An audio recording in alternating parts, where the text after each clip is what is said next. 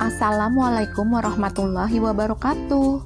Hai teman-teman semua, kembali lagi di channel aku Mama Joken. Di video kali ini aku mau share resep kaki naga yang pastinya bergizi karena terbuat dari daging ikan segar dan kebanyakan anak-anak suka karena bentuknya yang menarik. Bisa untuk camilan, lauk, dan bisa di frozen. Cocok juga buat ide jualan. Ini dia bahan-bahannya.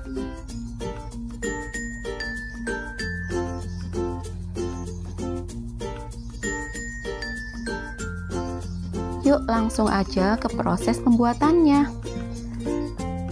Siapkan setengah kilogram daging ikan segar yang sudah dihaluskan. Masukkan satu butir telur, 50 gram bawang putih yang sudah dihaluskan,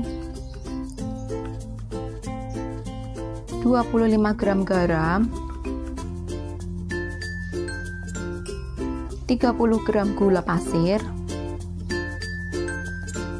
6 gram ketumbar 6 gram lada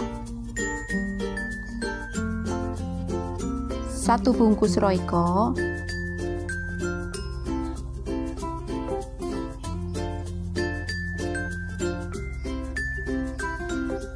dan 30 gram margarin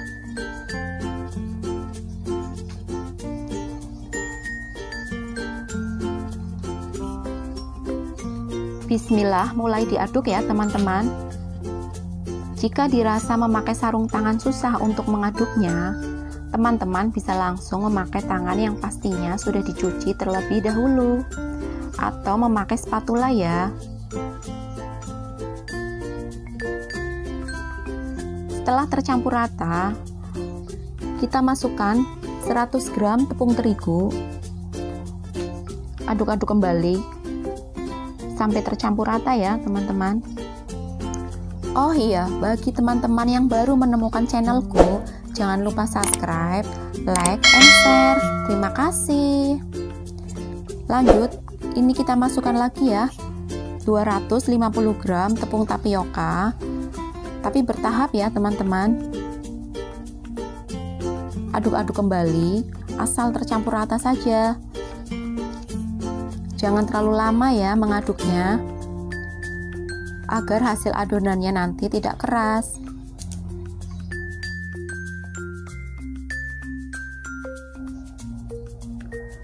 Sebelum mencetak, jangan lupa siapkan tepung tapioka secukupnya. Gunanya agar adonan tidak lengket di tangan ya, teman-teman. Siapkan juga stik es krim yang sudah dipotong menjadi dua bagian. Ambil sedikit adonan lalu bulat-bulatkan. Jika dirasa lengket di tangan, masukkan ke tepung tapioka ya. Lalu kita tusuk ya teman-teman memakai stick es krim.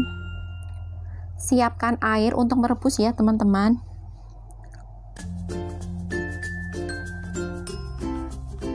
Nanti setelah air mendidih, adonan yang dicetak langsung dimasukkan ke air rebusan.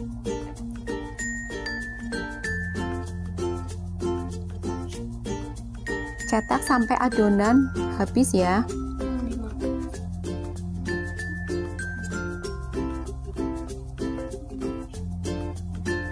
Siapkan tempat untuk meniriskan adonan yang sudah matang ya teman-teman.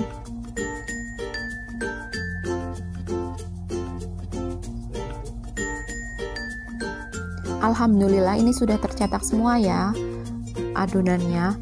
Dan tandanya sudah matang jika adonan sudah mengapung lalu tiriskan.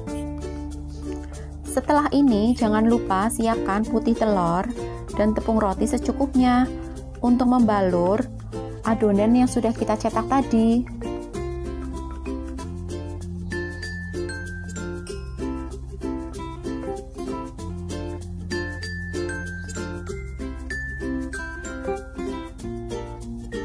Celupkan adonan yang sudah dicetak tadi ke putih telur, lalu taburi dengan tepung roti.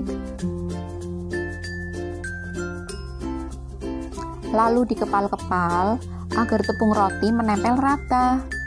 Lakukan berulang-ulang sampai adonan habis ya, teman-teman. Satu resep ini menghasilkan sekitar 90-100 biji.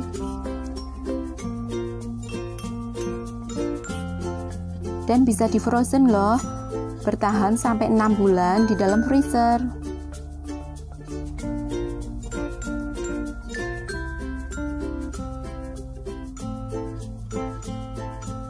Alhamdulillah selesai ya teman-teman. Hasilnya bagus dan banyak. Selamat mencoba. Wassalamualaikum warahmatullahi wabarakatuh